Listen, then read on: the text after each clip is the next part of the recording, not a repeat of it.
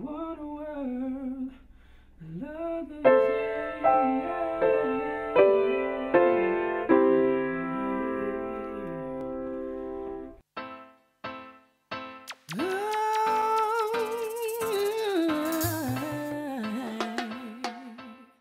eerste traject of het traject van, van schrijven en, en nieuw materiaal maken voor een album, dat had ik eigenlijk in die zin nog nooit gedaan.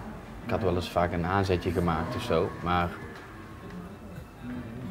op een of andere manier had ik het idee dat, dat, eh, dat me dat enigszins moeite kostte, zeg maar, om heel persoonlijk eh, eh, dingetjes op te schrijven op papier of teksten te maken. Omdat ik altijd het idee van, goh, weet je, dat, dan moet het wel echt goed overkomen. Want ja, je haalt er natuurlijk ook gewoon een heleboel mensen, mensen, mensen bij waar, je, waar je inderdaad mee opgegroeid bent. Want dat is ook in dat album verwerkt. Er zitten, er zitten ja, toch wel heel persoonlijke dingetjes bij.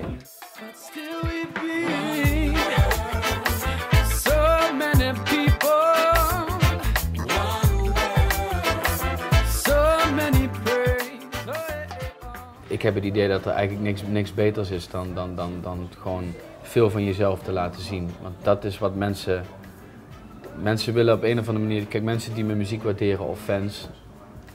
Die, die, die vinden het gewoon heel prettig als iets gewoon dichtbij komt. Als ze het kunnen aanraken en dat ze je kunnen begrijpen. En dat ze een beetje weten wat er, wat er in je hoofd omgaat. Weet je, hoe je de dingen beleeft, hoe je de dingen ziet. Weet je. Of ze er inderdaad ook gewoon. Eh, eh, moet het, ja, moet ik het uitleggen? Ze er affiniteit mee hebben. Of ze ja, daar, daar ja, een beetje mee kunnen identificeren, laat ik het zo zeggen. En ja, dat werkt gewoon heel erg goed. Ik, ik, vind het, ik, ik zou eigenlijk nu niet anders willen. Gewoon. Ik denk dat dat, dat, dat gewoon ja, toch, toch de beste manier is van muziek maken. to be oh, oh. We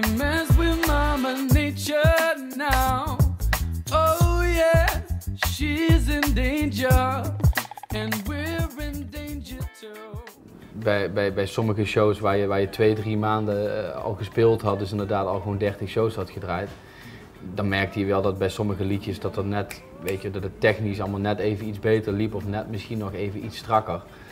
Maar uiteindelijk heb ik toch gekozen om uh, de Paradiso Show te gebruiken, omdat je gewoon, wat ik gewoon, ik was natuurlijk op dat moment onwijs gelukkig. Dat ben ik op zich op dit moment ook al. Maar, en, en de band, uh, eigenlijk iedereen die, daar, uh, die erbij betrokken was, inclusief de bandleden, iedereen was gewoon helemaal in zijn nopjes en was, was helemaal happy en, en had onwijs naar onze zin. Dus, en dat hoor je op die, op, tijdens die opnames, zeg maar. Dat hoor je eigenlijk terug op die opnames. En dat is eigenlijk de reden dat ik gekozen heb om om die opnames te gebruiken. Je merkt gewoon het vuur zit erin, weet je, de honger en, en want iedereen had eigenlijk zoiets van te gek, we spelen die show voor de eerste keer, Paradiso uitverkocht.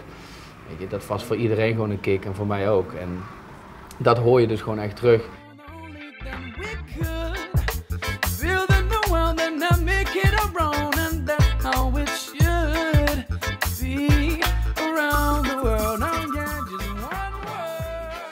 Ieder jaar dat je, dat je weer iets nieuws uitbrengt, dan word je beter. Weet je, dat is gewoon dat leerproces en dat, dat, dat blijft oneindig doorgaan. Maar ik vind het gewoon wijs kicken dat ik gewoon nu gewoon die kans heb gekregen om die liveplaat uit te gaan brengen. Want het is iets, dat is, dat is, dat is, ja, dat is toch voor mij een beetje die geschiedenis die, die, die, die ga opbouwen, ook voor mijn kinderen of voor van mensen die inderdaad gewoon over twintig jaar dat die in één keer gewoon de liveplaten eh, uit elkaar trekken en zeggen van zeg maar zo klonk papa of zo klonk ik toen ik uh, uh, 28 was. to be